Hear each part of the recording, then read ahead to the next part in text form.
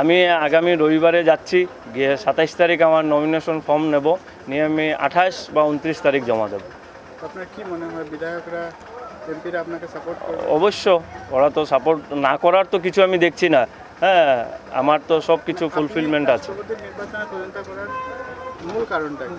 মূল কারণটাই আমার এটা হলো আমি আমার বরাকবাসীকে একদম রাষ্ট্রীয় স্তরে এটাকে উঠাতে চাই যে আমরা কত দুঃখে কষ্টে আছি, আমরা বরকবাসী আমাদেরকে সবাই অবহেলনা করে আমাদের যে আওয়াজগুলো আমাদের সেন্ট্রাল গভর্নমেন্ট পর্যন্ত পৌঁছতে পারে না, তাই আমি কেন্দ্রীয় সরকারের কাছে আমাদের এই আওয়াজটা পৌঁছানোর জন্য আমি দিল্লি যাচ্ছি।